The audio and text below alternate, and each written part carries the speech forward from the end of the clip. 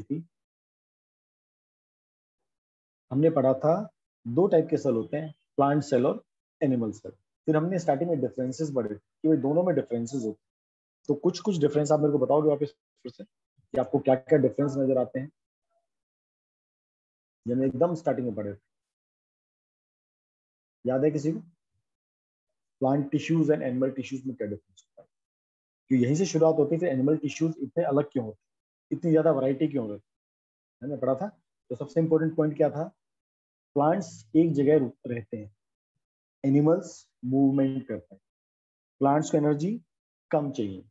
Animals को energy ज़्यादा चाहिए। प्लांट्स में मेंटेनेंस कम होता है। एनिमल में मेंटेनेंस ज़्यादा होता है। प्लांट में ग्रोथ लाइफ लॉन्ग होती है। एनिमल्स में ग्रोथ लाइफ लॉन्ग नहीं होती। इन्हीं सब चीज़ों की वजह से आप देखो प्लांट्स टिश्यूज काफ़ी कम होते हैं। और एनिमल टिश्यूज काफ़ी सारे ज़्यादा होते हैं। अंडरस्टूड ये हमने पढ़ा था। ये सबको याद है?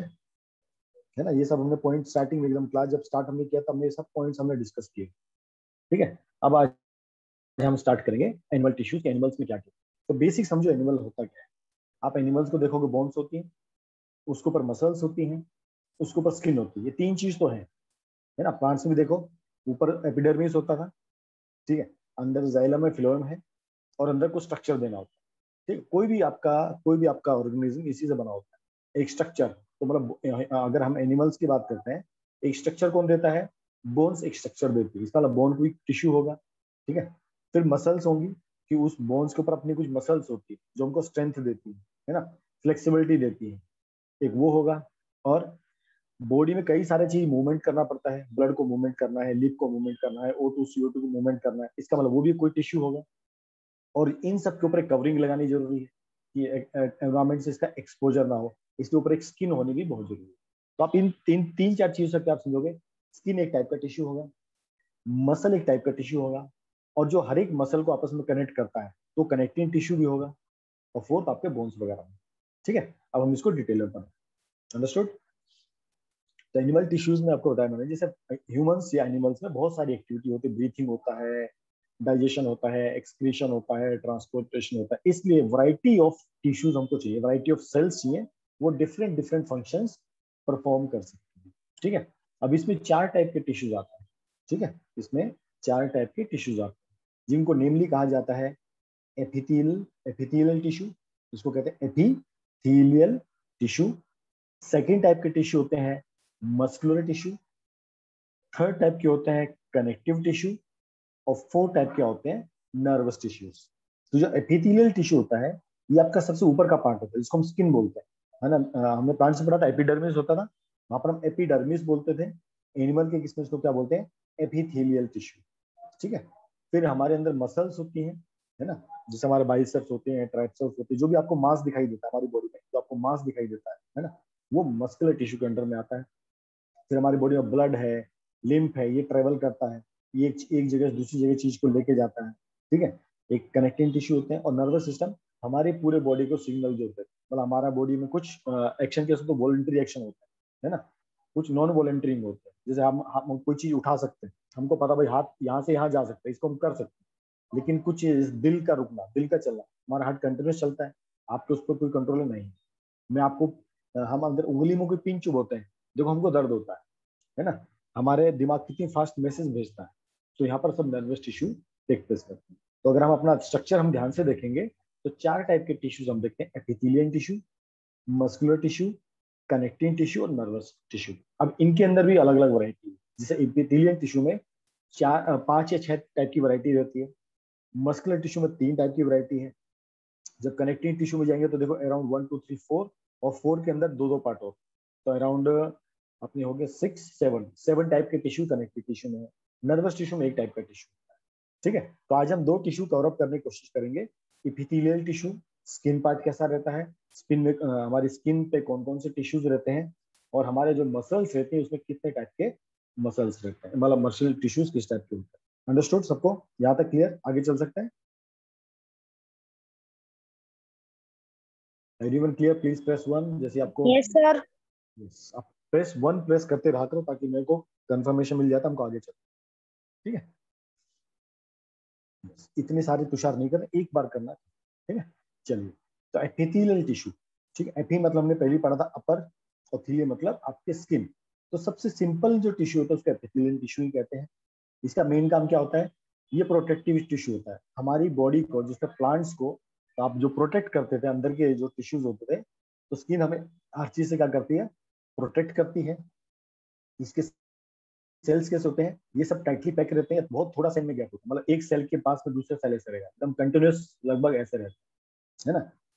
टिश्यू का नाम क्या है? एपिथेलियल टिश्यू एपिथेलियल टिश्यू ठीक है? ये टाइटली पैक होते हैं और एक कंटिन्यूस होते हैं। पूरा ऐसा शीट आप देखो, आपकी स्किन जो होती है, आप अपने, अगर अपने हाथ की आप स्किन देखोगे, देखो स्किन कंटिन्यूस है। कहीं ऐसा कि आधी जगह स्किन आधी जगह स्किन नहीं है, ऐसा नहीं होता ना? तो कंटिन्यूस होती है इसका मतलब ठीक है? और इनके बीच में बहुत थोड़ा स्पेस या बिल्कुल स्पेस नहीं होता, ये आपस में एक दूसरे एकदम कनेक्टेड होते ठीक है? इनका काम क्या होता है?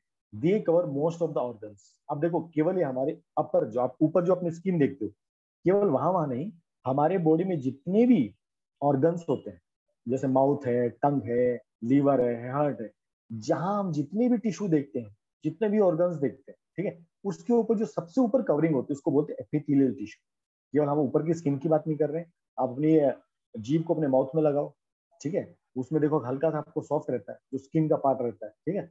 आपका जो भी अंदर ऑर्गन बना है, हमारे बॉडी का हर पार्ट पे समझिए एपिथेलियल टिश्यू रहता ही रहता है, ठीक है? तो they cover they cover the full body ठीक है? ये कई सारे काम करती है। ये जैसे अपने हार्ट को जो अपना हमारा स्टमक रहता है, ठीक है? बाउंड्री बना देता है ना स्टमक अपना स्टमक अलग है, हमारा पैनक्रियाज अलग है हमारा लीवर अलग है, ठीक है? हमारी अंदर की स्किन, हमारी बकल कैविटी हमारे अंदर का, ठीक है? बहुत सारी है, हमारी ब्लड वेसेस होती है, हमारे लंग्स होते आप जिस भी ऑर्गन का नाम लोगे, वहाँ पर जो सबसे आउटर कवरिंग होती है, ठीक है? जो सबसे आउटर कवरिंग होगी, वो किसकी बनी होती है? वो एपिथेलियल टिश्यू की बनी होती है। और ऐसे पाँच, छह टाइप के एपिथेलियल टिश्यू होते हैं। माउथ में टिश्यू अलग रहेगा हार्ट के लिए अलग रहेगा लीवर का अलग रहेगा किडनी का अलग रहेगा। तो जो स्किन मतलब कहाँ पर देखो, अभी आप देखो हमारे ऊपर की जो स्किन है जो हमारे हाथ की जो स्किन है वो देखो थोड़ी कैसी होती है थोड़ी मतलब टाइट होती है स्ट्रॉन्ग होती है। जबकि आप अंदर माउथ के आपका होठ के नीचे देखो जो होठ के नीचे जो स्किन है वो, वो उसके अंदर जो टिश्यू वो एकदम सॉफ्ट है है ना? इसका मतलब कुछ एपिथेलियल टिश्यू सॉफ्ट होंगे और कुछ एपिथेलियल टिश्यू आपके मज़बूत होंगे हार्ड होंगे ठीक है? तो इसको आगे हम पढ़ेंगे। अब इसके फ़ंक्शंस देख लेते क्या क्या फ़ंक्शंस है। The cell of body surface ठीक है? Form the outer layer of skin ये मैंने आपको बता दी है। The cell protect the underline from drying injury chemical effect ठीक है? हमारी बॉडी में कोई केमी अगर हमको गलती से कोई केमिकल गिर जाता है तो क्या होता है? सिर्फ़ ऊपर की स्किन को इफ़ेक्ट करता है। वो अंदर के टिश्यूज को इफ़ेक्ट नहीं करता। ठीक है? हमारी बॉडी ड्राई रहती है। हमें इंजरी से बचाता है। ठीक है? हमको जो बाहर की स्किन होती है वायरल इन्फेक्शन से बचाता है। ठीक है? अंदर की जो इनसाइड द बॉडी जब तक हमने आउटसाइड का बॉडी किया sir this tissue can found in both animals and plants विचार अभी हमने पढ़ा ना अभी हम एनिमल टिश्यू पढ़ रहे हैं उसका नाम क्या है? एपिथेलियल टिश्यू जब हमने प्लांट्स पढ़े थे वहाँ पर एपिडर्मिस टिश्यू हमने पढ़ा था। पढ़ा था ना एपिडर्मिस यस यस ठीक है? यस तो हमारे माउथ के अंदर देखो जो लाइनिंग होती है वो एपिथेलियल टिश्यू होती है। जो हमारे अंदर फ़ूड पाइप होती है इसको बोलते हैं एलिमेंट्री कैनल इसको फ़ूड पाइप भी कहते हैं। ठीक है? और सारे ऑर्गन्स को प्रोटेक्ट करने का काम भी कौन करता है? एपिथेलियल टिश्यू करता है। और क्या काम करता है? वाटर एब्जॉर्प्शन का काम करता है। न्यूट्रिएंट्स का काम करता है। ठीक है? और क्या काम करता है? एलिमिनेशन ऑफ़ वेस्ट प्रोडक्ट ये भी एपिथेलियल टिश्यू के थ्रू रहता है। मतलब आप कोई भी ऑर्गन ले लो, उसका बाहर का जो आउटर कवरिंग है, वो सब क्या रहता है? एपिथेलियल टिश्यू ठीक है? जो हमारे अंदर हार्मोन सीक्रेट होते हैं, वो भी एपिथेलियल टिश्यू के थ्रू होते हैं। मतलब ये हर जगह पाया गया आप कोई भी चीज़ बॉडी का नाम ले लो, ये आपको हर जगह मिलेगा। मिलेगा हमको जो स्वेट आता है, हमारे माउथ में स्लाइवा बनता है, या म्यूकस बनता है, जो एंजाइम्स बनते हैं, ये हर जगह रोल प्ले करता है। वट इज़ प्लाज्मा बच्चा? प्लाज्मा मेम्ब्रेन की बात कर रहे हो? बोलो सर आप प्लाज्मा मेम्ब्रेन की बात कर रहे हो क्या?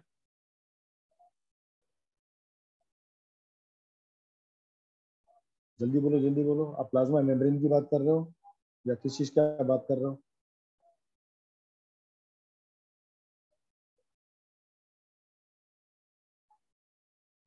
बेटा, जल्दी रिप्लाई करो। No sir during injury who help to cover out during injury जब हमको होता है तो ब्लड हमारे ब्लड जो ब्लड होता है, उसमें प्लेटलेट्स होती हैं। ठीक है? वो हेल्प करता है। तो क्लोटिंग में ब्लड पार्ट हेल्प करता है। टिश्यू हेल्प नहीं करता। अगर आप प्लाज्मा मेम्ब्रेन की बात कर रहे हो तो कोई भी सेल होगा, उसके ऊपर मेम्ब्रेन होता है, उसको प्लाज्मा मेम्ब्रेन कहते हैं। इंजरी के टाइम में आपका जब ब्लड निकलता है, सबसे पहले आपके प्लेटलेट्स काम करते हैं। वो एक आउटर कवरिंग बना, उसके ऊपर बाद में सेल आता ठीक है? चलो, अभी हम एपिथेलियल टिश्यू की डिटेल में जाएँगे। ये काफ़ी लंबा टॉपिक है तो हमको आज और कल में इसको पूरा बढ़ना तो इसमें छह टाइप के टिश्यू आपको मिलेंगे।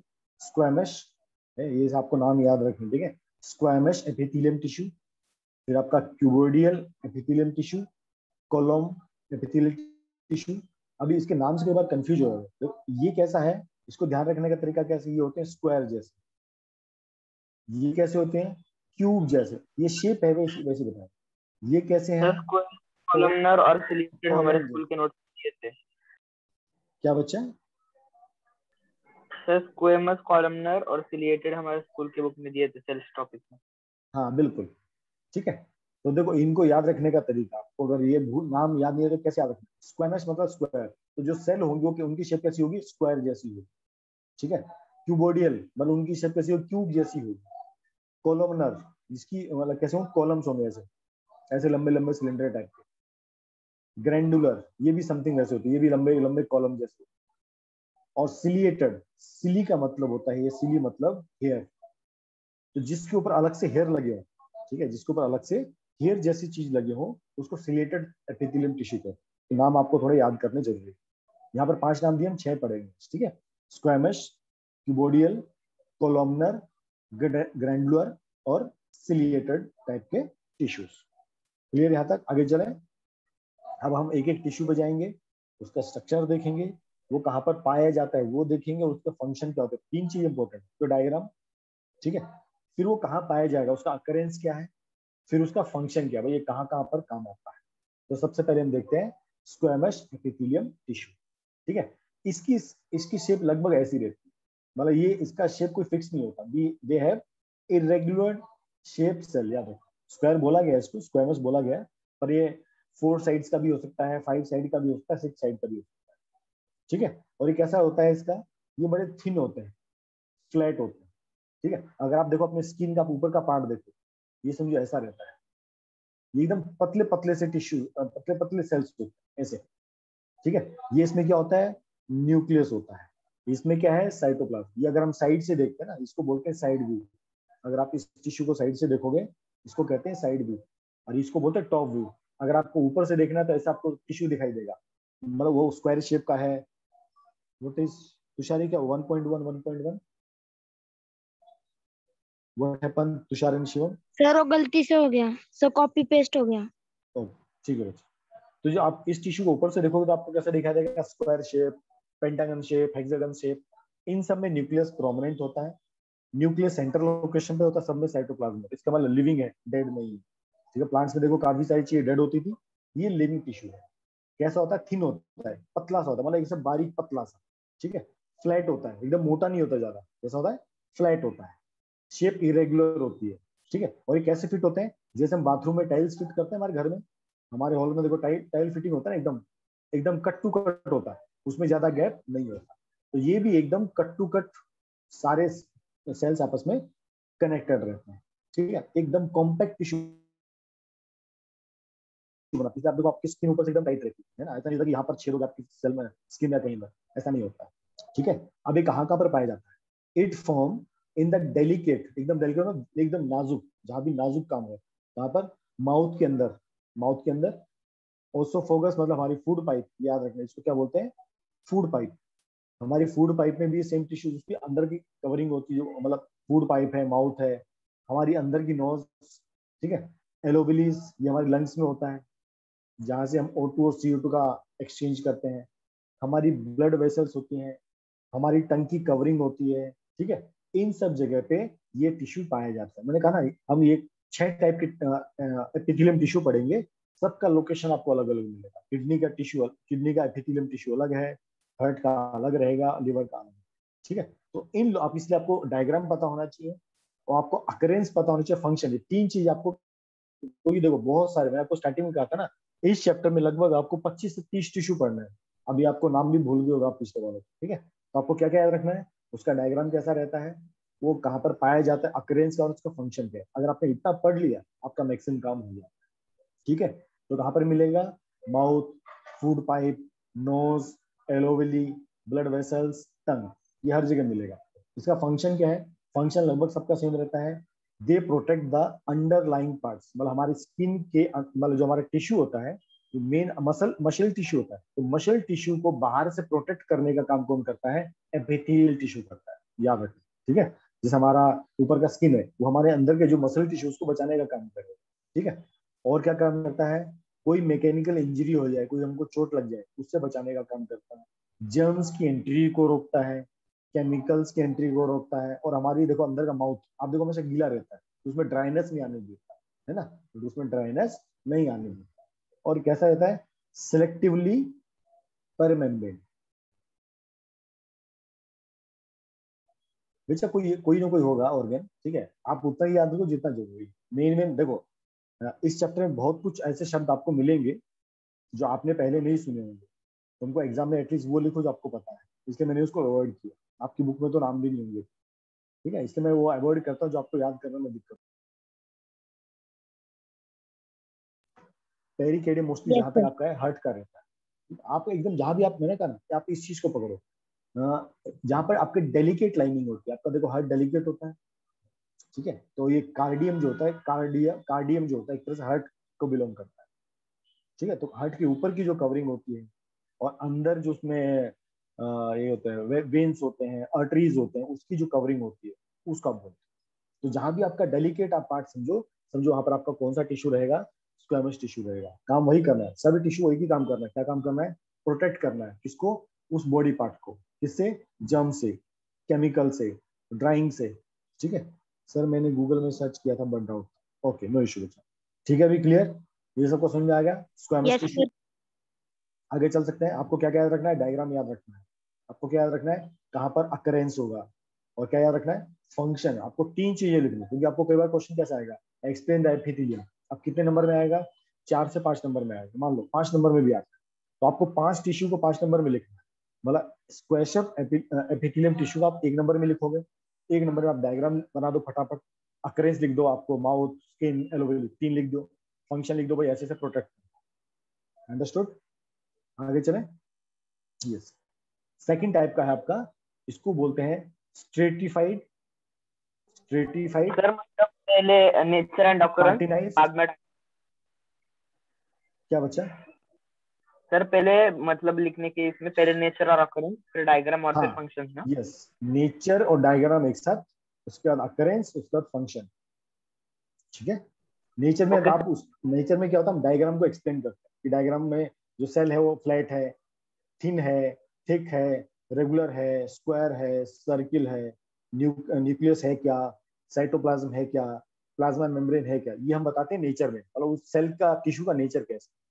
फिर क्या बताएँगे, ये कहाँ का मिलेगा? तो भाई माउथ में मिलेगा फ़ूड पाइप में मिलेगा लंग्स में मिलेगा ब्लड वेसल्स में मिलेगा टंग में मिलेगा। बता दिया। थर्ड फ़ंक्शन क्या काम करता है? Entry of germs chemical drying से बचाता है। ठीक है? चलिए। नेक्स्ट आपका है keratinized square square squamous epithelium nine बड़े अजीब अजीब है, तुम भी कैसे याद करोगे देखते ठीक है? तो एक इसको नाम ये कर्टिनाइज कैसे पड़ा? एक केमिकल होता है, एक टाइप का प्रोटीन होता है फाइब्रस प्रोटीन कैरेटिन करके।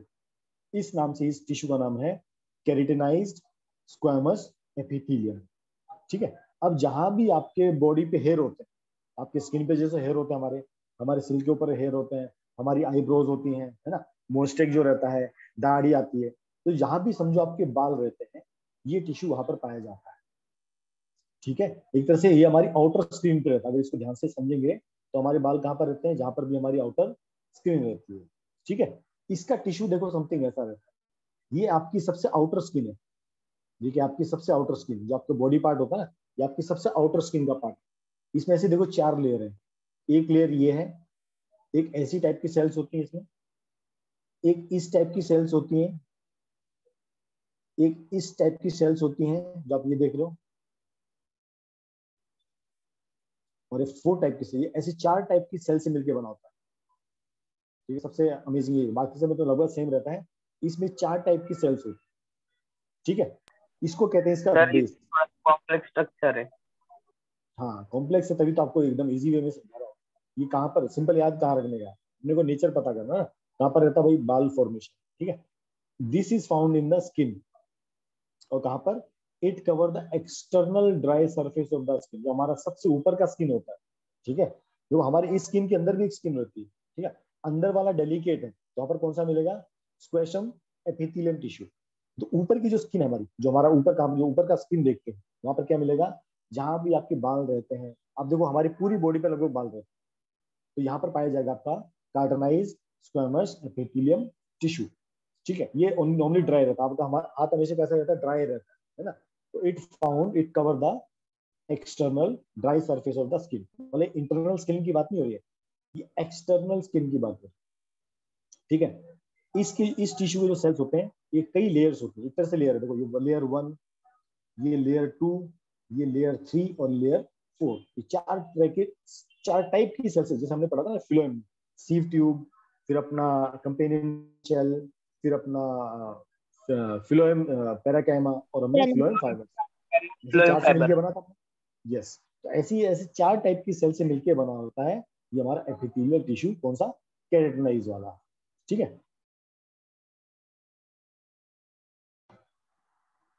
ठीक है। The cell forming different layers of epithelium are not similar है ना? ये सब अलग अलग सबको डायग्राम में दिखा। ठीक है? तो डीपर लेयर ऑफ़ टिश्यूज है क्यूबोइडिक सेल्स ये एक एक पढ़ते हैं, ठीक है? फ्लेटेंड भी रहता है, ठीक है? ये आपको एक एक करके बता दो। ये सबसे वाला ऊपर जो है, ये एकदम ऐसे जस्ट लाइनिंग होती है सिंपल ऐसे फाइबर जैसे। आप देखो ऊपर से स्किन आप कैसे आपको रफनेस दिखाई देता है है ना?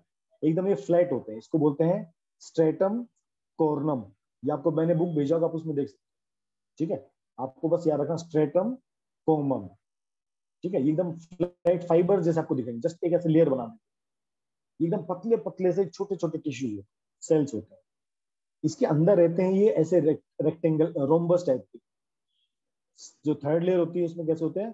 रोम्बस टाइप के सेल्स होती है। उसके अंदर भी न्यूक्लियस रहेगा, उसके अंदर भी साइटोप्लाज्म रहेगा।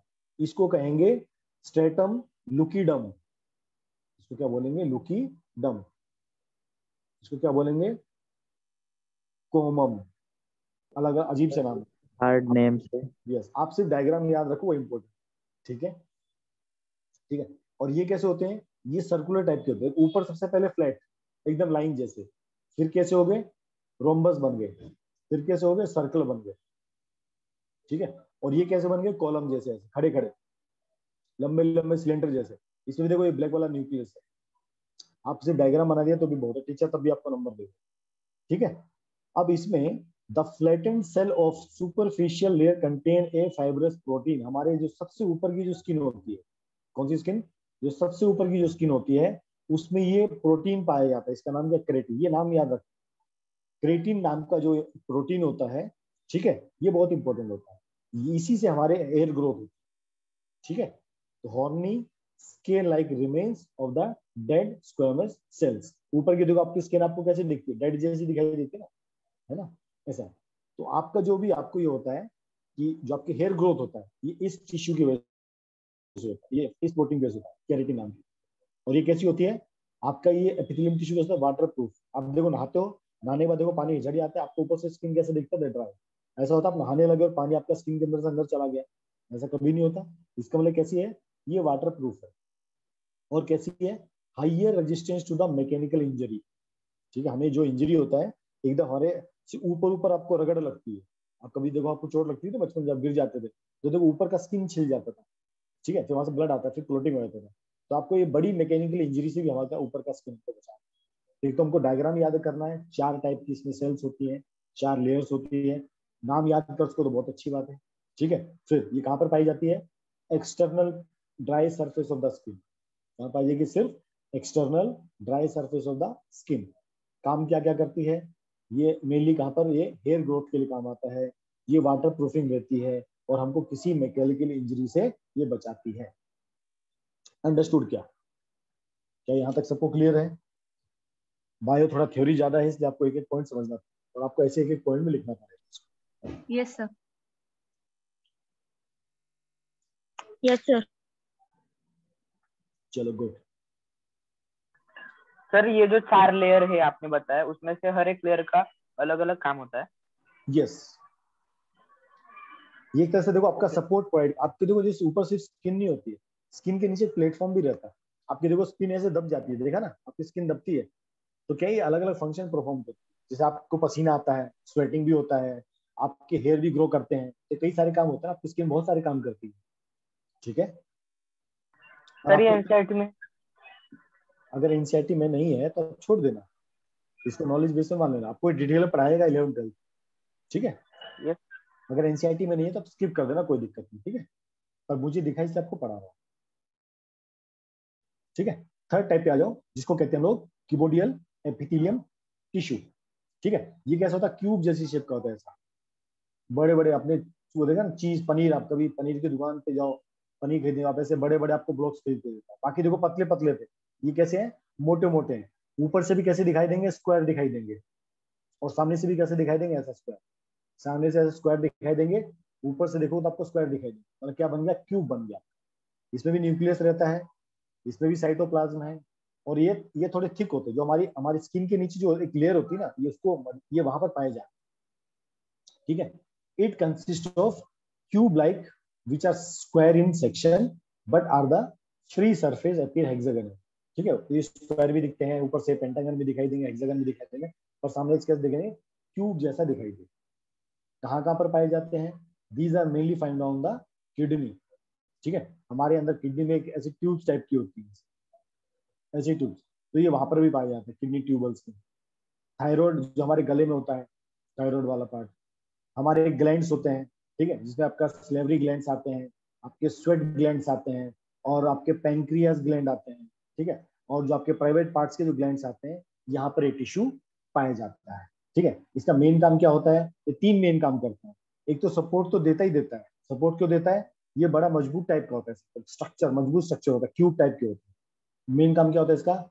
एब्जॉर्प्शन एक्सक्रीशन और सिक्रेशन ये तीनों टर्म समझो, ठीक है? हमारी किडनी का काम करती है एक्सक्रीशन का, ठीक है ना? वो यूरिया फॉर्म करती है यूरिन यूरिन प्रोड्यूस करती है और किडनी और वो किडनी क्या करती है, उसको एक्सक्रीट करती है बॉडी से, ठीक है? तो ये टिश्यू किसमें हेल्प करता है?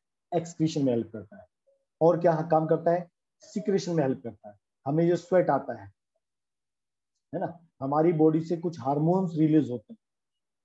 तो ये इसी टिश्यू के से होते हैं। तो ये कौन सा काम करता है? सिक्रेशन मतलब ये निकालने का काम करता है। सीक्रेट करने का सीक्रेट करने का। एब्जॉर्प्शन ये काफ़ी चीज़ एब्जॉर्ब करता है, ठीक है? आपके, जैसे बॉडी में कई ऐसी चीज़ होती है जो आपको एब्जॉर्ब भी करनी पड़ती है। जैसे एंजाइम एंजाइम का मतलब सेल में बनते वो किसी दूसरी लोकेशन पे जाते हैं, ठीक है? फिर वहाँ पर उसको एब्जॉर्ब किया जाता है। दूसरा, आपके किडनी में क्या होता है? जब तक किडनी का फिल्ट्रेशन होता है तो किडनी फिल्ट्रेशन होता है तो दो स्टेज में होता है। वो पहले तो यूजफुल कंपोनेंट्स को बाहर निकालता है एग्जिट करता है मतलब बॉडी के अंदर, बाहर नहीं बॉडी के अंदर एग्जिट करता, बाद में उसको रीअब्जॉर्व कर लेता है। फिर से उसको रीअब्जॉर्व कर और हम खाना जब खाते हैं, जब खाना पच जाता है, एकदम वो कॉम्प्लेक्स फ़ूड से सिंपल फ़ूड में आता है ग्लूकोज फैट प्रोटीन्स एकदम वाटर मतलब वाटर सोलेंट बन जाता है। तो उसको हमारी इंटेस्टाइन्स को एब्जॉर्व करने का काम भी होता है, ठीक है? तो ये सब, जो ये टिश्यू होता है, ये वहाँ पर पाया जाता है इन सब लोकेशन पे किडनी में ग्लैंड्स में और थायराइड जैसी लोकेशन पे। अंडरस्टूड तो मेन आपको डायग्राम याद रखना है। डायग्राम एकदम इजी है। क्यूब टाइप का आपको बनाने हैं। नेचर कैसा होता है? क्यूब टाइप के स्ट्रक्चर होते हैं। ऊपर से स्क्वायर भी दिखते हैं, ऊपर से एक्सागोनल भी दिखते हैं। जिनके ऊपर से आपको ऐसा भी दिख सकता है, ऐसा। ऐसा भी आपको दिख सकता है। न्यूक्लियस होगा साइटोप्लाज्म होगा।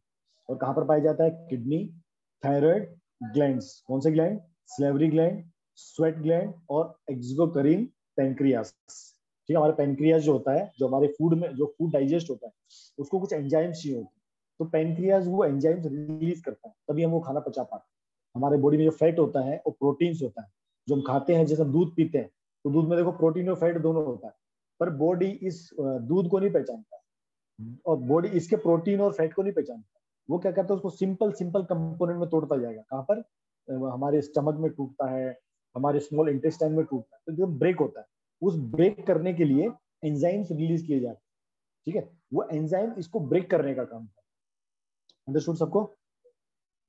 ये आपका हो गया थर्ड टाइप का क्यूबोडियल टाइप का एपिथेलियम टिश्यू फोर्थ आपका है कोलोमनर फोर्थ आपका है कोलोमनर टाइप के ये कैसे होते हैं? ऐसे खड़े खड़े सिलेंडर जैसे होते ऐसा। ऐसा टाइप इसमें टिश्यू इसमें न्यूक्लियस का होता है? एकदम बेस पे होता है।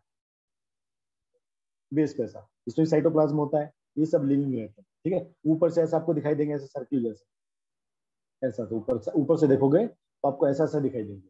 और सामने से देखोगे तो आपको ऐसे दिखाई देंगे, खड़े खड़े ठीक है?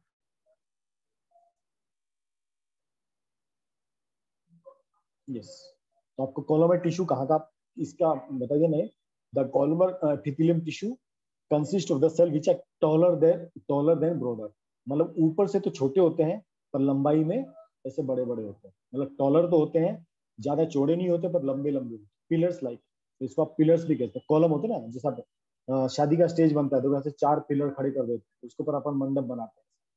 है ना? तो कॉलम्स होते बड़े बड़े तो चौड़ाई में छोटे होते पर लंबाई में बड़े बड़े होते इसका न्यूक्लियाई कहाँ होता है? बेस जो एकदम यहाँ पर होगा, यहाँ पर इसका न्यूक्लियस होता है। ठीक है? किसी में सेंटर में होता है, किसी में बेस में होता है।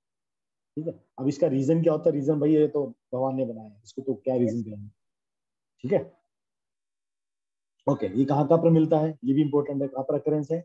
These form at the lining of the stomach हमारे स्टमक की जो अंदर की लाइनिंग होती है, ये वहाँ पर मिलता है। स्मॉल इंटेस्टाइन हमारे बॉडी में दो इंटेस्टाइन होती है, एक स्मॉल होती है, एक बिग होती है, ये वहाँ पर मिलता है। ठीक है? कॉलम ये हमारे अपेंडिक्स में मिलता है। ठीक है? जो म्यूकस फॉर्म करता है, ठीक है? और हमारे गल ब्लेडर में मिलता है। ऐसी कई लोकेशन मिलता है ठीक है? इसका मेन काम क्या होता है? एब्जॉर्बन करता है। एब्जॉर्व करता है मतलब कोई सी चीज़ को एब्जॉर्व करता है। जैसे आपको पता हमारे स्टमक में भी कई सारे टाइप के जूस रिलीज़ होते हैं, ठीक है? तो और हमारे इंटेस्टाइन में खाना एब्जॉर्व होता है, ठीक है? तो कई सारे काम करता है।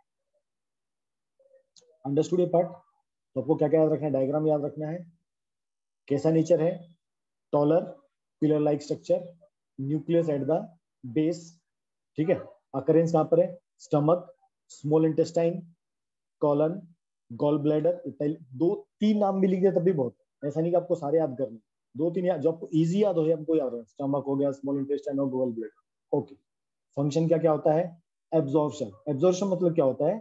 किसी चीज़ से किसी, जैसे अगर मैं बोलूँ ये है मेरा नींबू जूस ये मेरा क्या है? नींबू का जूस है। अगर मैं कोई ऐसा सिस्टम बनाऊँ, जो इसमें से केवल नींबू जूस को एक्सट्रैक्ट करे, पानी को वहीं छोड़ दे तो क्या करे?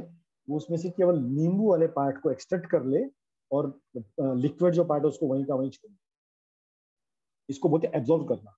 ठीक है? तो हमारे इंटेस्टाइन में वही होता है। हमारे इंटेस्टाइन में जो पूरा खाना बनता है, जो पूरा खाना होता है ना, आप जो भी खाते हो, रोटी, सब्ज़ी, दाल, चावल, जो सब होता है, ये बाद में पूरा ये सॉलिड ये सेमी सॉलिड प्लस वोटरी बन जाता है। कैसा बन जाता है? वोटरी बन जाता है।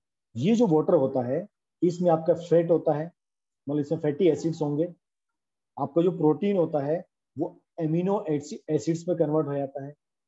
जो आपको कार्बोहाइड्रेट होता है, वो ग्लूकोज में चेंज हो जाता है। तो ये सब लिक्विड फॉर्म में चेंज हो जाता है। तो क्या करते हैं इंटेस्टाइन से ये हमारे ब्लड में एब्जॉर्ब होता है।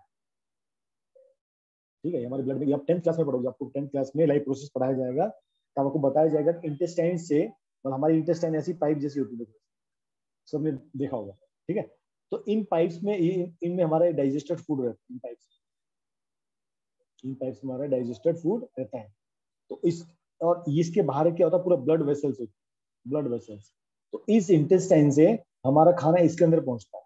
तो ये एब्जॉर्व किया जाता है। तो सॉलिड पार्ट हमारे इंटेस्टाइन में छूट जाता है। सॉलिड पार्ट होता है सेमी सॉलिड वो हमारे इंटेस्टाइन में छूट जाता है। और जो वाटरी पार्ट होता है जिसमें फैटी एसिड्स होते हैं अमीनो एसिड ग्लूकोज होते हैं, उसको हमारा ब्लड एब्जॉर्व कर लेता है। तो इसमें तो ये जो टिश्यू होता है हमारे कहाँ मिलेगा? स्टमक में मिलेगा इंटेस्टाइन में मिलेगा और गोल ब्लैडर में मिलता है। अंडरस्टूड सबको?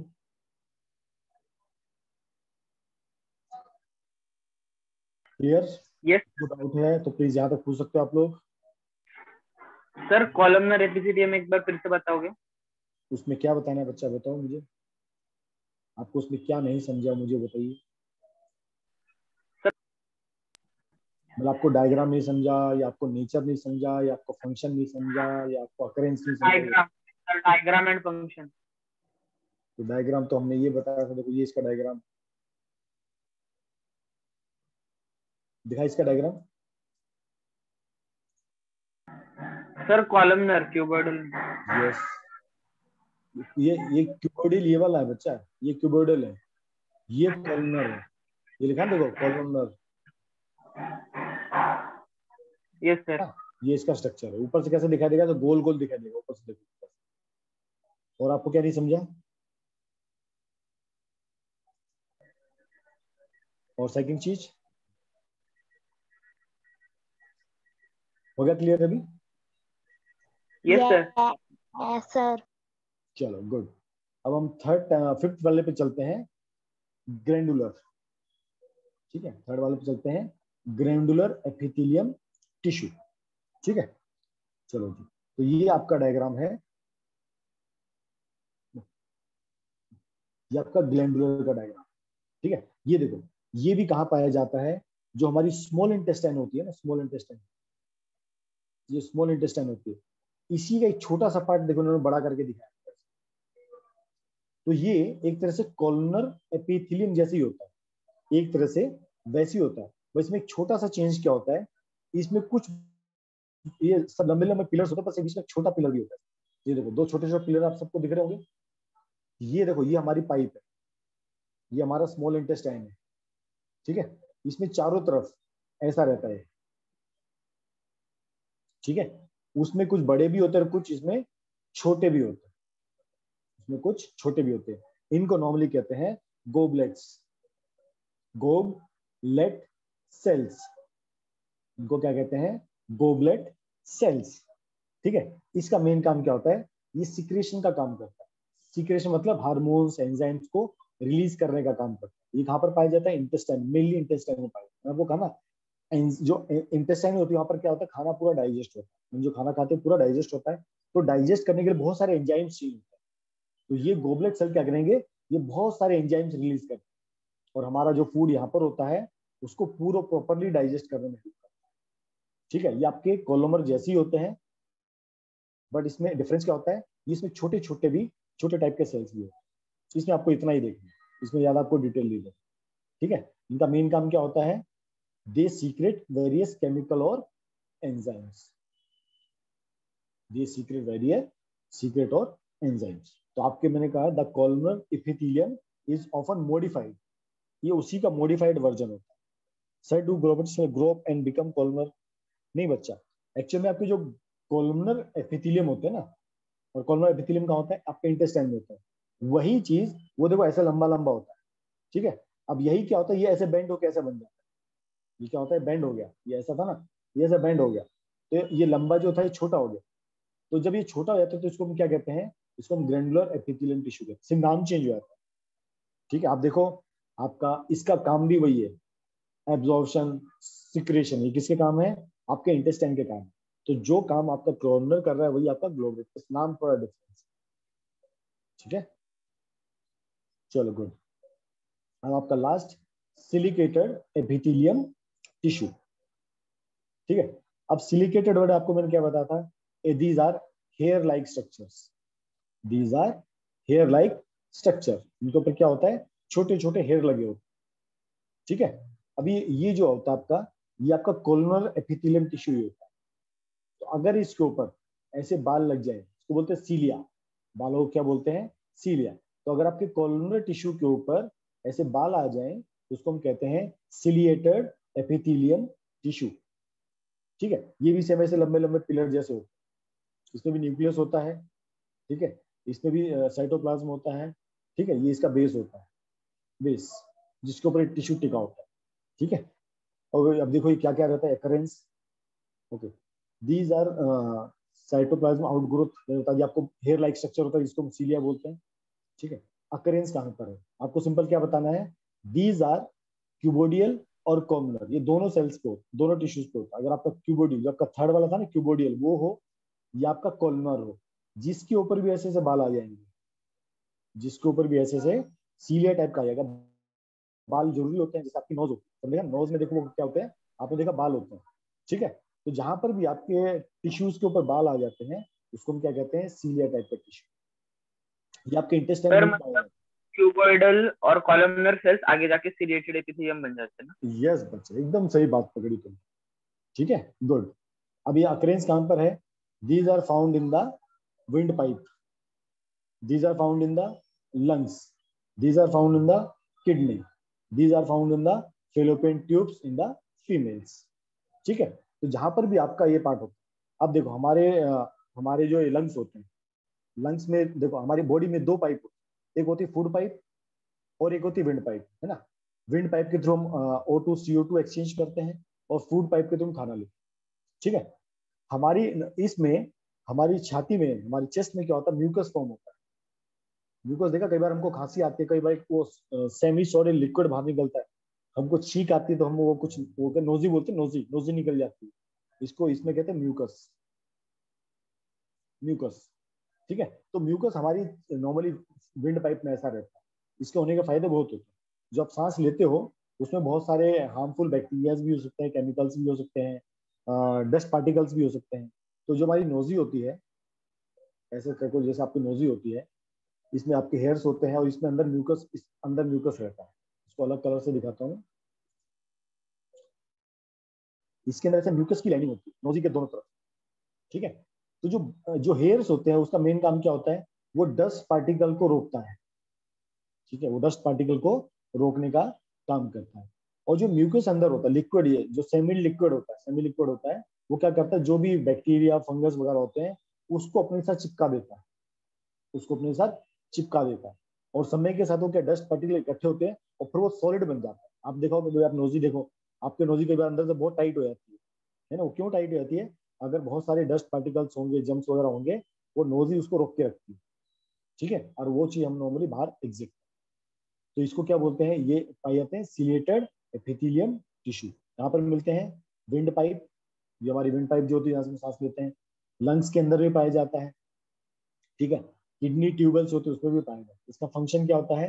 Rhythmic beating of the cilia move solid particles जो म्यूकस जो होता है हमारी बॉडी में जिसको मैं कहता हूँ सेमी सॉलिड म्यूकस इसको बॉडी में ऊपर लेके जाने का वन डायरेक्शन ठीक है? इसको ऊपर लेके जाने का काम कौन करता है? सीलिया कैसे काम करते हैं? ये समझो आपका आपको बड़ा करके दिखाता हूँ। ये समझो आपकी विंड पाइप है। आपने जो सेल का ये भेजा था ना वीडियो हाँ, वाला यस यस भी ये बताया सर बताया था ना? चलो गुड देखो, अगर आपके ये इसमें म्यूकस समझो इसके अंदर म्यूकस भरा है इसके अंदर म्यूकस भरा हमारी विंड पाइप में साइड में होता है मोस्टली साइड में होता है। इसमें जो सेल अगर ये ये सीलिया सेल अगर ऐसे सब एक साथ इस डायरेक्शन में हो जाए, ऊपर की तरफ़, अब इन सबका डायरेक्शन कैसा है? ऊपर की तरफ़। अब ये म्यूकस क्या करेगा? नीचे से ऊपर की तरफ़ मूव करेगा। तो हमारी सांस के साथ क्या होता है? ये ये हेयर लाइक स्ट्रक्चर ऊपर की तरफ़ मूव कर तो इसको क्या करेंगे? पुश करेंगे। और म्यूकस हमारा ऊपर आ जाता है और अगर इनका स्ट्रक्चर से नीचे की तरफ़ हो जाए ऐसा ऐसा नीचे की तरफ़ तो मतलब इसका मतलब म्यूकस अब नीचे की तरफ़ ट्रेवल करेगा। ठीक है जी? अंडरस्टूड तो यहाँ पर आपका. एपिथेलियम टिश्यू खत्म होता है। क्या स्कूल में इसके अलावा इससे ज़्यादा कुछ पढ़ा है तो आप मुझसे पूछ सकते हैं। फिर उसके बाद हम मस्कुलर टिश्यू स्टार्ट करें स्कूल में लेसन ही नहीं शुरू किया अब तक। ओके अगर किसी के स्कूल में शुरू किया हो तो पूछ सकता है। कोई ऐसा है जिसके स्कूल में स्टार्ट हुआ टॉपिक नो सर हमारे स्कूल में भी नो सर सेकंड खत्म हुआ है सर सेकंड खत्म हुआ। तो हमने ये मतलब तरह से एक्स्ट्रा चैप्टर पढ़ लिया है क्या तू? तू मेरे को Yes, किसने कहा था सर टिश्यू मुझे किसने कहा था सर टिश्यू पढ़ा दीजिए? किसने कहा था? वैष्णवी ने कहा था मुझे? तो आपने वोटिंग कराई थी। वोटिंग में बच्चे ने बोला था। अच्छा सर नहीं सर अभी मतलब टिश्यू कल शुरू शुरू हो जाएगा हमारे स्कूल अच्छा शुरू हो जाएगा ना? हाँ शिवम के स्कूल में स्टार्ट हुआ क्या Shivam? No sir sir I was telling to start physics chapter अच्छा चलो ठीक है इसका फिजिक्स स्टार्ट कर देंगे फोर्स एंड मोशन ठीक है क्योंकि ये मोस्टली चैप्टर अब कल खत्म हो जाएगा। आज हमारा मस्कुलर टिश्यू हो जाएगा कल हम कनेक्टिव टिश्यू नर्वस टिश्यू पढ़ेंगे फिर चैप्टर खत्म होगा। तो टिश्यू का टिश्यू का डिमांड किसने यस किया वो टिश्यू डिमांड वाले कोई दिख नहीं रहा मुझे। कौन कौन था टिश्यू डिमांड वाला भोसले। कौन? अथर भोसले। हाँ भाई अथर। अच्छा स्नेहा ने बोला Yes, था। तुषार ने भी कहा था। देखो तीन लोग तो मिल गए ना आज। चलो तीन लोग का तो भला हो गया। तो तुषार तुम लोग के स्कूल में स्टार्ट हुआ है टिश्यू तुषार यस सर पूरे से स्टार्ट हो गया था। मतलब मैम ने हमें समरी बता दी थी। अच्छा लेकिन पूरा स्टार्ट नहीं हुआ था? नो सर चलो गुड अभी आपको चैप्टर पूरा लगभग सर हो? पहले हाँ। सर पहले दो बच्चों ने बोला फिर बहुत सारे बच्चे बोलना चालू हो गए टिश्यू अच्छा चलो ठीक है। चलो इस बार अपना चैप्टर तो और हो गया अब जब टीचर तुमको स्कूल में पढ़ाएगा तुमको फिर जल्दी समझ आ जाएगा ना यस सर है ना? आपको इजी लगेगा स्कूल का जो स्कूल में आपको पढ़ाया जाएगा। और इसके बाद हम फोर्थ स्लो मोशन स्टार्ट करें या कौन सा स्टार्ट करें? केमिस्ट्री का टॉपिक सर मोशन मोशन वो एक बार जल्दी ओके ओके अथर को बायोलॉजी अच्छा लगता है सर टिश्यूज का। चलो अगला चैप्टर का वोटिंग करो कौन सा करना है अगला चैप्टर नेक्स्ट चैप्टर कौन सा करना चाहिए? ऑप्शन एक ही है। या तो केमिस्ट्री या physics oh so chemistry only two options are there या तो हम फिजिक्स स्टार्ट करेंगे या केमिस्ट्री स्टार्ट करेंगे। अथर्व ने फिजिक्स बोला है, शिवम ने फिजिक्स स्नेहा ने केमिस्ट्री वैष्णवी ने फिजिक्स अगस्त केमिस्ट्री अथर्व रत्ना पाखी भाई दो दो बार नहीं लिखना, एक ही बार लिखना है। मैं वोटिंग देख रहा हूँ। ऐसे बार बार डबल करोगे तो डबल काउंटिंग हो जाएगी। तो मुझे एक बार वापस वोटिंग करो। अभी वापस वोटिंग करो। वापस नहीं तो है ना, हम एक एक करके हम, हमारा वोट बोल देते। आप गिन लो नहीं, नहीं। इसमें लिखो देखो फिजिक्स अभी देखो तुषार ने लिखा physics Shivam physics Sneha chemistry Agast chemistry और अथर रत्नापा की फिजिक्स तो थ्री और टू बाकी लोग तीन लोग लोग हैं। ओ थ्री थ्री चलो एक वोट बचा है कौन है? थ्री थ्री का सेम हो गया दो वोट और बचे हैं। देखो दो वोट किस तरफ़ जाते हैं? वैष्णवी दोबारा नहीं भेजना वैष्णवी भेजा। चलो फोर्थ वैष्णवी ने फोर्थ चलो फोर थ्री लास्ट वोट, एक और बचा है, आठवां वोट। इसका आठवां वोट है। तो फ़ीस का डिमांड ज़्यादा है, क्योंकि देखो, हमने अभी रिसेंटली बायो से पहले क्या पढ़ा था? केमिस्ट्री पढ़ा था, है ना? उससे पहले हमने फिजिक्स पढ़ा था। तो मतलब अब बारी किसकी आनी चाहिए? फिजिक्स की आनी चाहिए। हमने सबसे पहले सेल पढ़ा, फिर हमने मोशन पढ़ा, है ना? हमने मोशन पढ़ा था, फिर मैं सेल पढ़ा, फिर हमने मेटेरियल रो सराउंडिंग पढ़ा। अब वापस बारी किसकी आनी चाहिए? फिजिक्स की आनी चाहिए। ठीक है? तो हम अगले वीक अगले वीक में जब मिलेंगे, हम फिजिक्स का force law in motion start करें ओके चलो गुड यस सर तो मेजोरिटी विन लोग सिखा दिया है पर? क्या बच्चा? सर आपने मोशन सिखा दिया था ना? और मोशन नहीं फोर्स लो एंड मोशन अच्छा फोर्थ लॉ है हाँ यस चलो गुड तो हम आते हैं मस्कुलर टिश्यू हमने स्किन का पार्ट पढ़ लिया. ठीक है गुड यस फोर और थ्री का रेशो तो देखो हमने स्किन पार्ट पूरा पढ़ लिया. उसका टिश्यू का नाम क्या होता है? एपिथेलियम टिश्यू ये पाँच या छह वैरायटी होती है। ये अलग अलग लोकेशंस पे पाया जाता है। अलग अलग इनका काम होता है। तो क्या, एक तो डायग्राम याद रखने हैं, ठीक है? आपको नेचर याद रखना है। भाई, इस टिश्यू का टाइप कैसा होता है? सेल कहाँ होती है? मतलब उसमें न्यूक्लियस है क्या? साइटोप्लाज्म कहाँ होता है? न्यूक्लियस की लोकेशन सेंटर में है बेस में है, ठीक है? अक्रेंस कहाँ पर कहाँ कहाँ पर पाए जाते हैं? उसका फ़ंक्शन क्या होता है? ये आपको याद है, ठीक है? थर्ड होता है मसल्स मसल मतलब हमारे बॉडी में स्किन के नीचे जो होता है और बोन्स के बीच में जो होता है, ठीक है? बोन के ऊपर और स्किन के नीचे जो भी चीज़ पाई जाती है उसको बोलते हैं मसल टिश्यू ठीक है? अब मसल टिश्यू को पढ़ेंगे इसमें तीन वैरायटी होती है।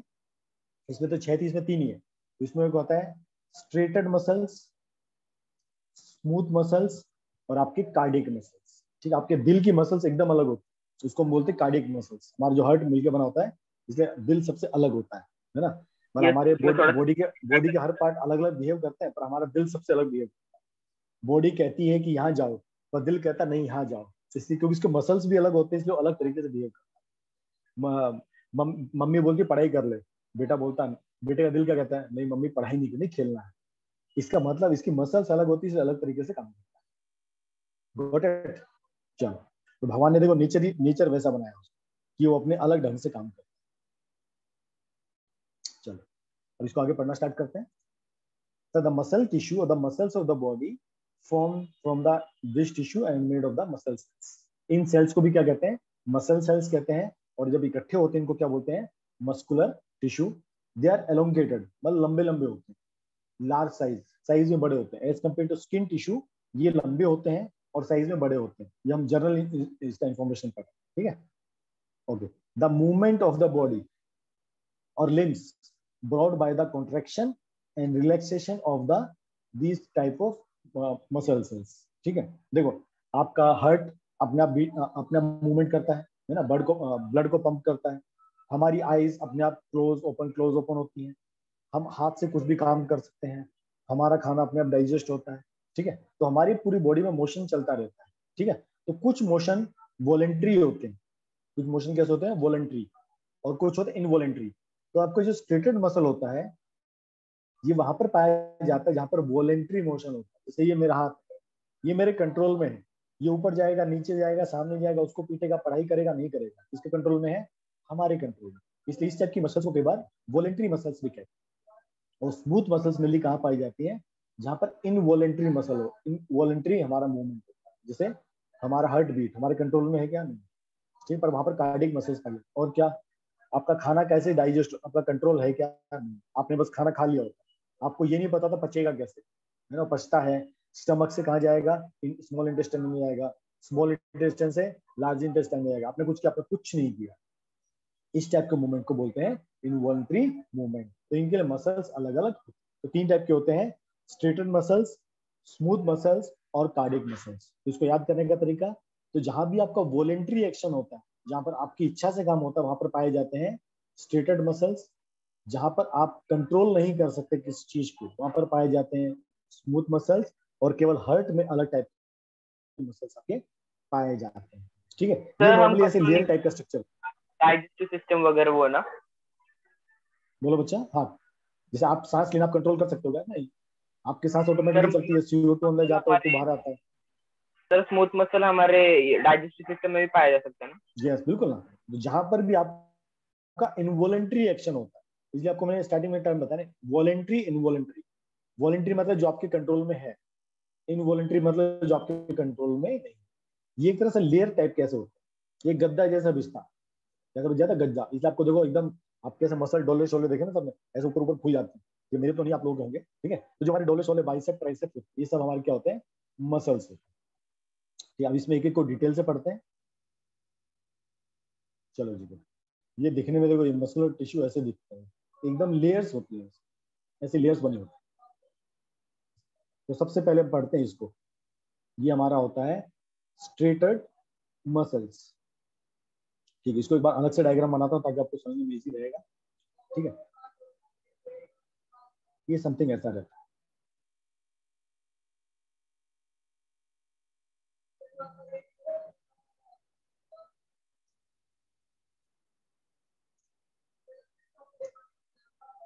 इसमें ऐसी टाइप की स्ट्रिप्स बनी होती है।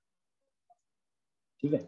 इसमें ऐसी स्ट्रिप्स बनी होती है। अगर आप ध्यान से डायग्राम देखोगे तो ब्लैक एंड व्हाइट डायग्राम है इसमें मैंने आपके कलर कलर बनाया ऐसी टाइप की जो स्ट्रिप्स बनी होती हैं, इस टाइप के टिश्यू कहते हैं स्ट्रेटेड मसल्स उसके कई बार स्ट्रिप्ड मसल भी इसको कहा जाता है। ठीक है? इसमें इसमें देखो, इनमें न्यूक्लियस यहाँ पर एक न्यूक्लियस होगा। ठीक है? यहाँ न्यूक्लियस है, यहाँ न्यूक्लियस है, यहाँ न्यूक्लियस है।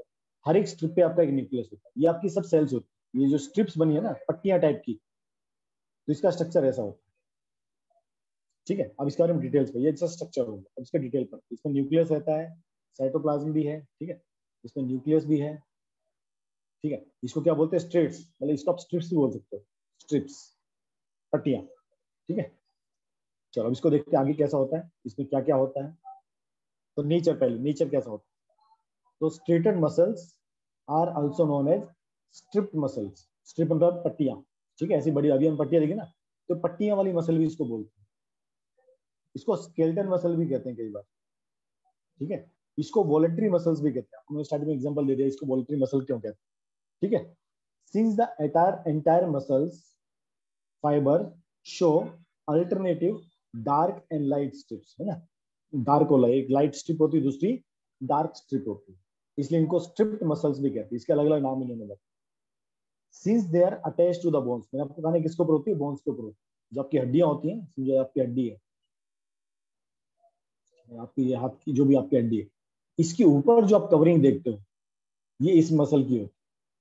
ठीक है? Since they are attach to the bones and responsible for the body movement हमारा जो बॉडी मूवमेंट कर पाता है, हमारा हाथ मूव कर, जो एंगल तो मूव करता करता है, आपकी स्किन भी देखो आपको मूव करता है। आपकी देखो उंगलियाँ मूव करती ठीक है? तो these are responsible for the body movements इसलिए इनको क्या कहते हैं? स्केल्टन मसल इसके देखो तीन नाम हो गए। एक क्या हो गया इसका? स्ट्रेटेड स्ट्राइटेड मसल्स दूसरा नाम क्या हो गया?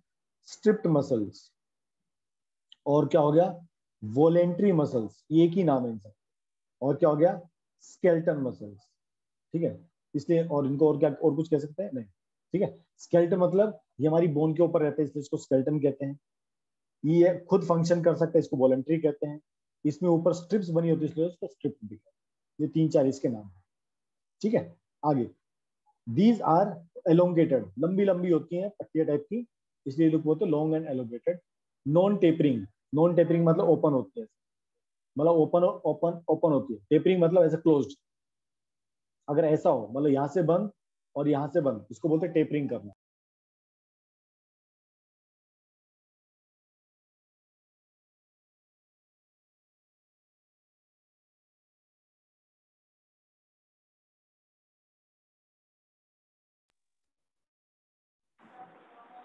ठीक है? तो ये ओपन एंडेड होती है। और ये क्लोज इसको टेपरिंग ठीक है? तो दे आर नॉन टेपरिंग ठीक है? इसमें क्लोज ओपन होती है। सिलेंड्रिकल होती है है ना? ये आपको मैं बता दें सिलेंडर जैसी होती है। और कैसी होती है? अनब्रांच मतलब ऐसा नहीं कि इसकी अलग से ब्रांच निकले ट्री में ब्रांचेस निकलती है ना तो इसकी अलग से ब्रांचेज नहीं निकलती, ये अनब्रांच होती है। तो हमने क्या क्या सीखा? लॉन्ग होती है एलोंगेटेड मतलब लंबी लंबी होती है। नॉन टेपरिंग होती है मतलब ऊपर से क्लोज ओपन क्लोज होती है। और कैसी होती है?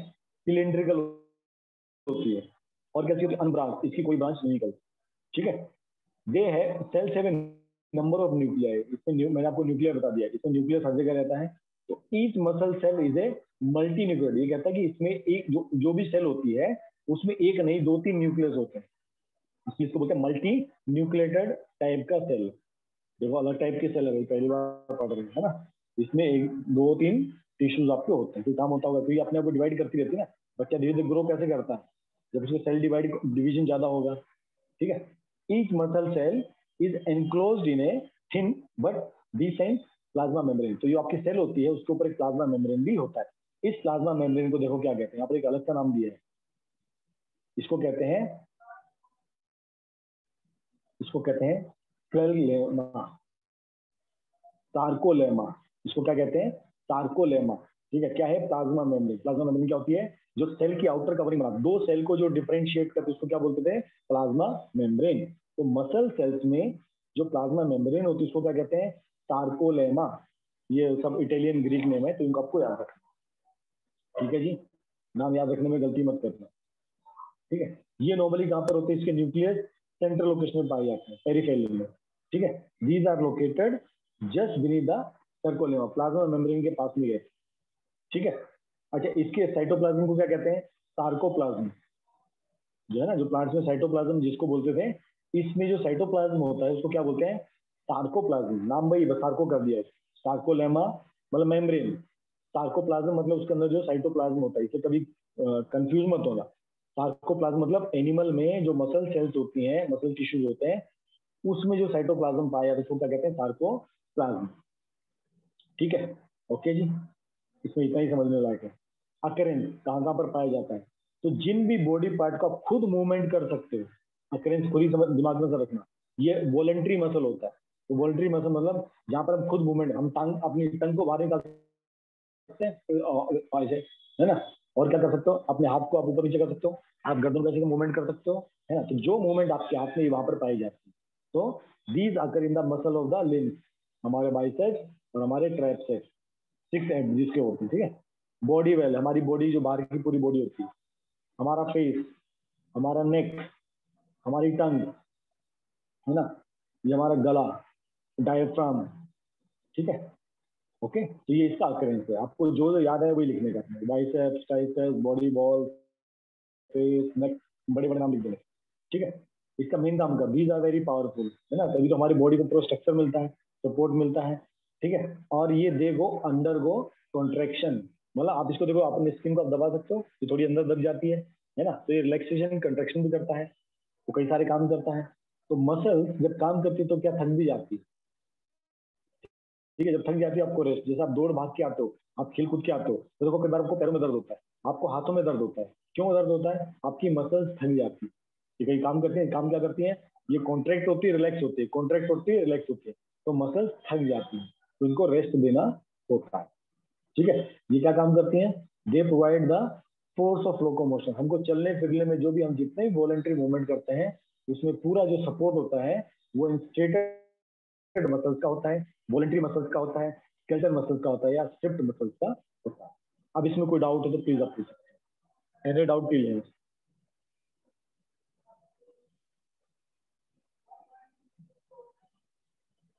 हाँ जी। कोई डाउट यहाँ तक किसी को?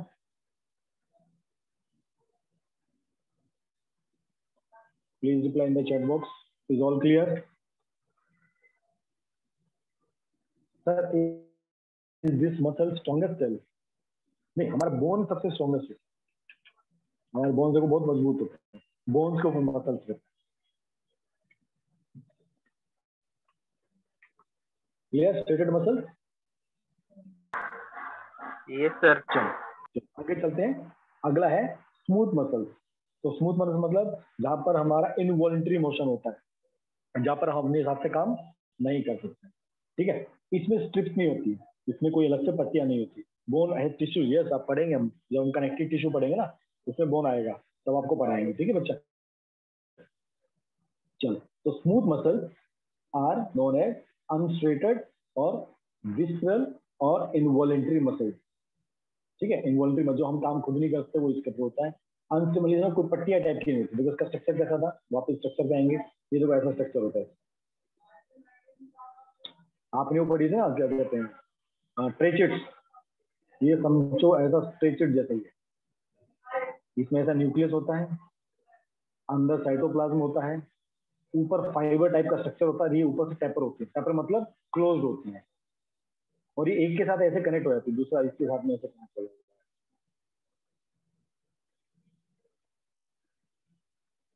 तभी तो मजबूती मिलती है हमारी बॉडी को।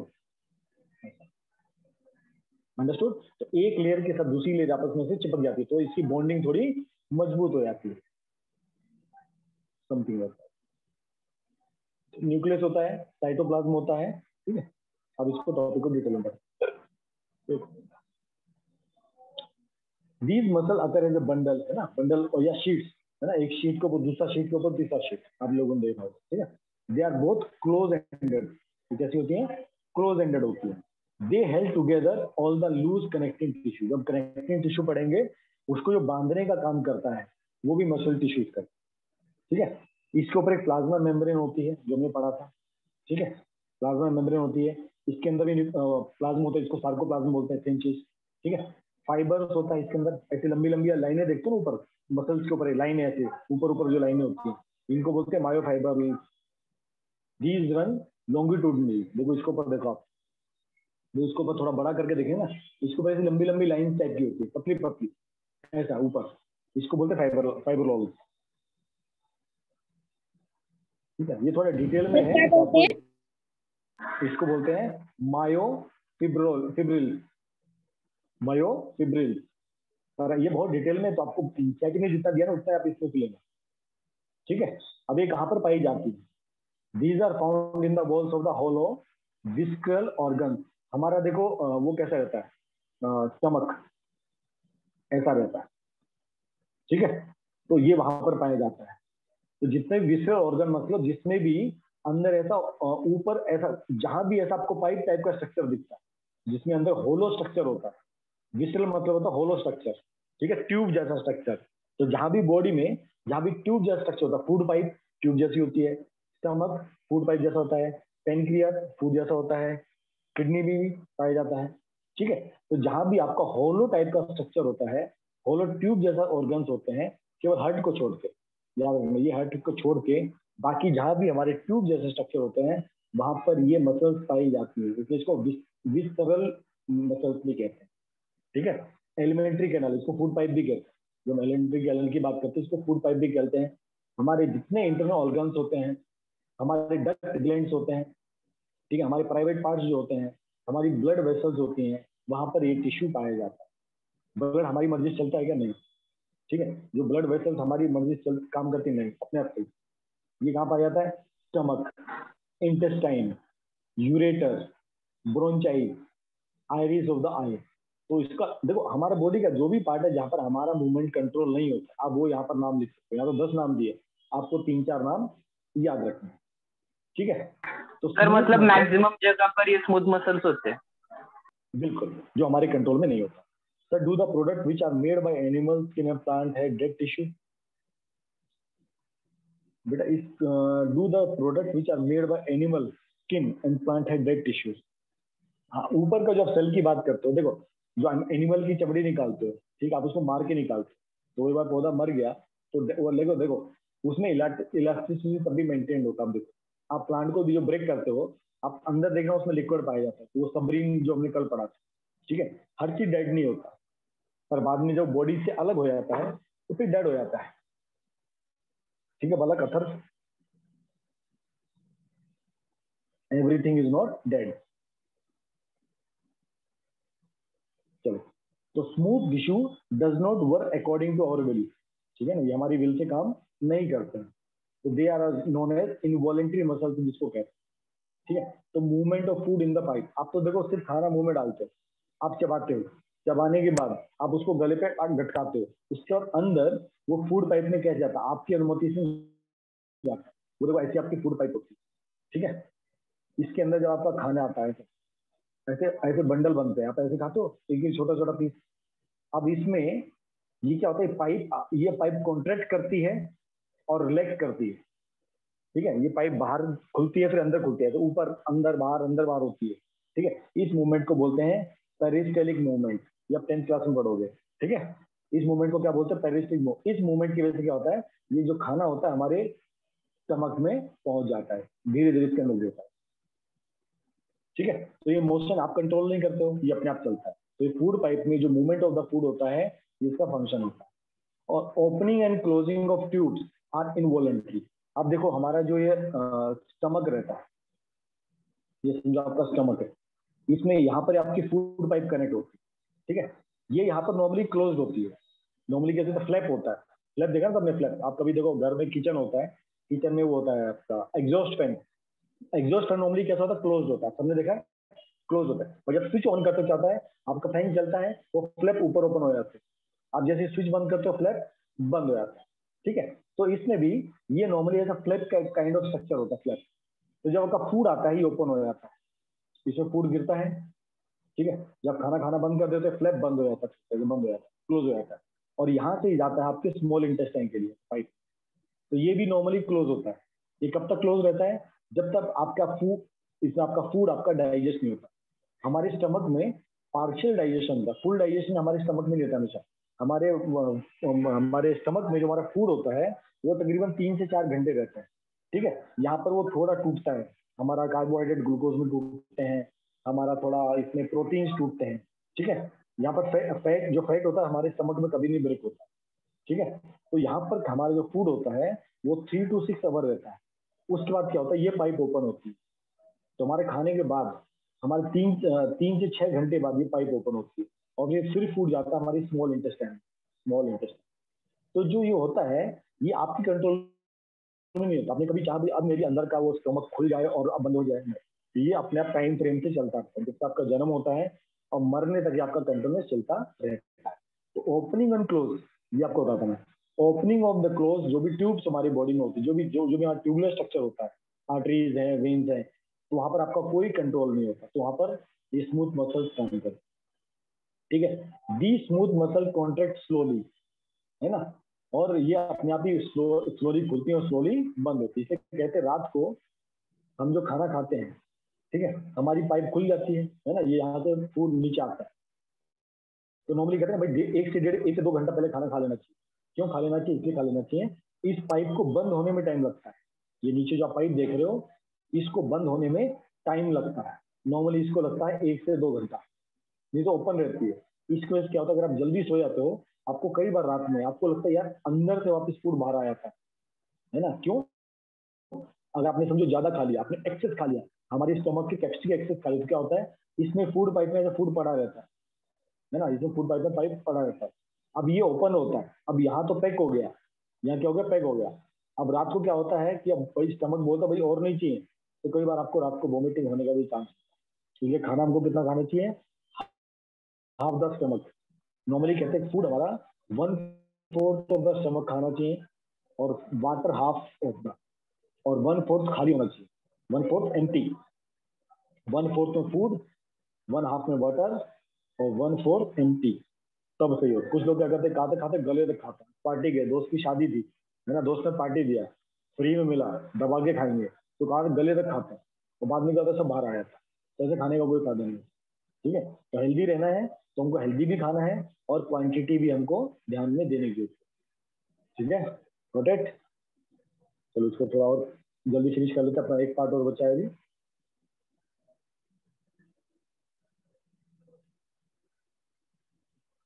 भाई कैपेसिटी सबकी अलग होती है, बच्चे की कैपेसिटी अलग होती है और तुम्हारी और मेरी कैपेसिटी में अंतर होता है। ठीक है? तो ऐसा नहीं कहते एक किलो, दो किलो। वो अपने को अंदर फीलिंग आया था कि पेट वो जब डकार मारता ना बस। और बोल दे, सिग्नल, पहला डकार सिग्नल, बस, और नहीं खा सकता। दूसरा डकार तो एकदम सिग्नल, बिल्कुल मत भेज अभी। हमारे भगवान ने सिस्टम बहुत बढ़िया बना आपको डकार आती है। ठीक है तो पहली डकार है, समझो, बंद। उसका नहीं खाने का। ठीक है? तो normally the smooth muscle contract slowly but remain contracted for long period of time ठीक है? ये हमने पढ़ लिया पेरिस्टिक मूवमेंट होता है। मतलब मतलब कॉन्ट्रैक्ट और रिलैक्स है ना? हमारी फ़ूड पाइप रिदमिक चलता है। या फ़ूड आपका धीरे धीरे नीचे आता है ये हर जगह होता है ठीक है? चलो गुड यहाँ पे कोई डाउट किसी को? अंडरस्टूड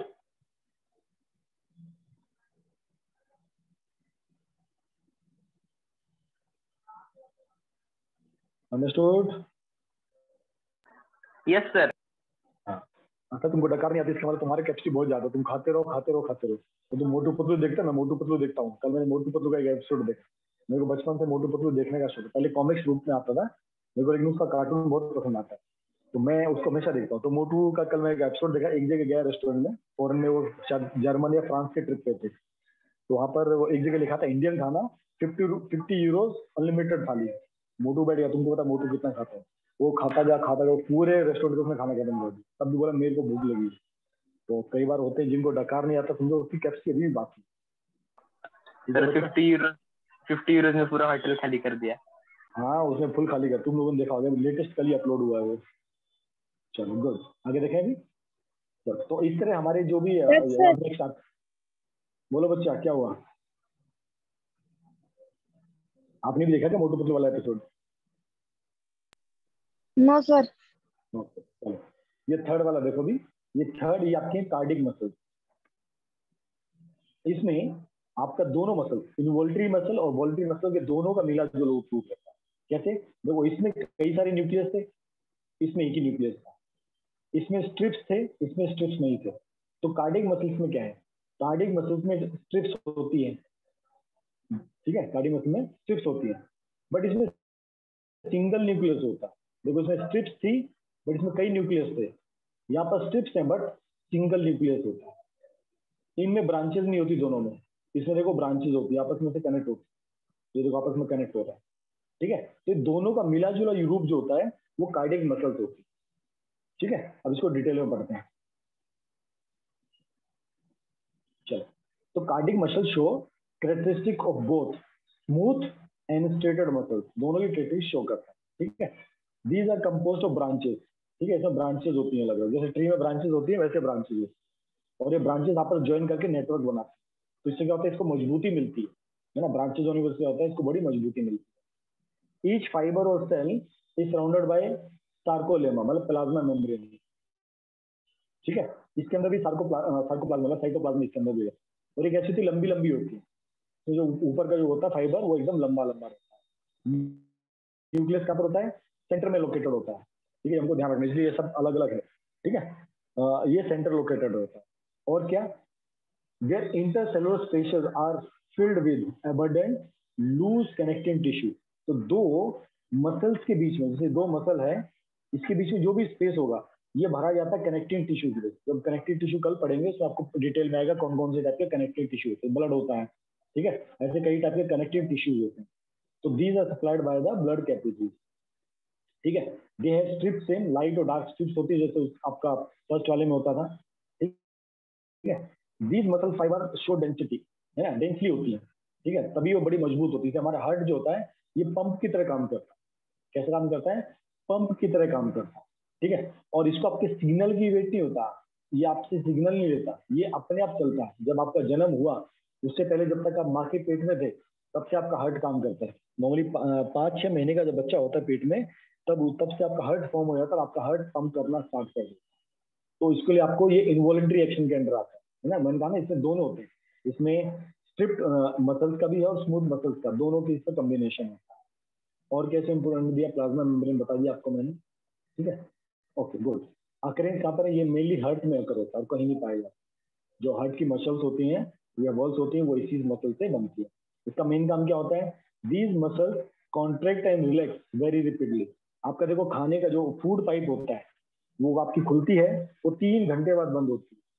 लेकिन आपकी जो हार्ट की मसल्स कंटिन्यूसली कॉन्ट्रैक्ट रिलैक्स करती है। जब बोलते हैं एक मिनट में आपका जो धड़कन होता है, कितना होता है? सेवेंटी टू टाइम्स इसका मतलब आपका हार्ट जो होता है, वो सेवेंटी टू टाइम्स कॉन्ट्रैक्ट होता है रिलैक्स होता है। ठीक है, ये तो कंटिन्यूसली चलता ही रहता, चलता ही रहता, चलता है। टायरलेसली तब तक जब तक आपका डेथ ना हो जाए, ये तब तक चलता रहेगा। देखो ना अर्ली एम्बुलेट स्टेज जब मैंने बता दिया। पाँच छह महीने का जो बच्चा होता है, तब से लेके आपकी डेथ तक ये आपका हार्ट कंटिन्यूसली वर्क करता है। और जिस दिन हार्ट बंद हो जाता है, उस दिन आपकी छुट्टी हो जाती है। इसी को हार्ट अटैक बोलते हैं। टेंथ क्लास में आपको हार्ट अटैक पढ़ाया जाएगा कि हार्ट अटैक क्यों होता है, ठीक है? तो the contraction and relaxation of the heart muscle help to pump blood ये क्या काम करता है? मेन ब्लड को पंपिंग करता है। ब्लड की पंपिंग की ज़रूरत क्यों होती है तो ब्लड आपका कनेक्टिंग टिश्यू होता है। उसको बॉडी के हर पार्ट में पहुंचाना होता है। तो ब्लड क्या करता है? ऑक्सीजन कैरी करने का काम करता है। ब्लड क्या काम करता है? फ़ूड कैरी करने का काम करता है। ब्लड का काम करता है एंजाइम कैरी करने का काम करता है। ब्लड का काम करता है हार्मोन्स को कैरी करने का काम तो ब्लड पूरे बॉडी में सर्कुलेट करता है, सबको फ़ूड देता है, सबको ऑक्सीजन देता है तो इसको पंप करना पड़ता है। तो पंपिंग का काम कौन करता है? हार्ट मसल ठीक है? गॉट इट अब देखो, तीनों में एक बड़े अच्छे अच्छे डिफरेंसेस दिए गए हैं। अगर आपको कभी ये तीनों को एकदम इजी वे में समझना है तो इजी वे में अपन क्या समझ सकते हैं?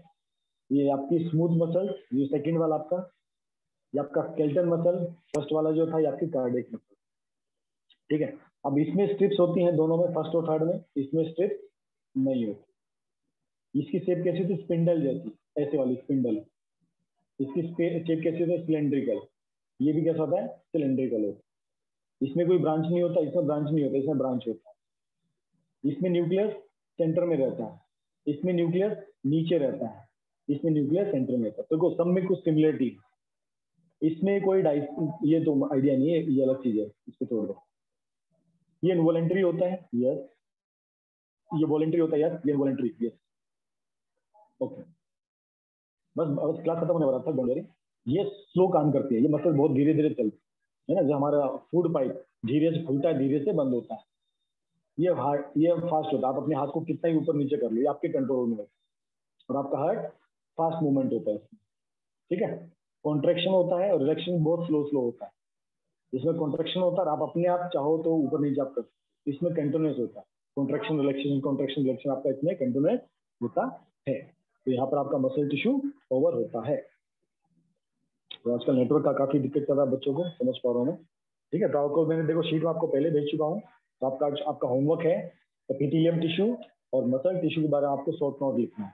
तो जिन लोगों ने आज काम नहीं सबमिट किया तो प्लीज़ आप होमवर्क सबमिट कर सकते हो। ओके जी? Clear doubt till here? Any doubt till here? No doubt we can end class here. ठीक है? तो कल हम दो टाइप के हमारे दो टिश्यूज बच गए। कौन से? कनेक्टिव टिश्यू कनेक्टिव टिश्यू में देखो कई टाइप के आएँगे अपने।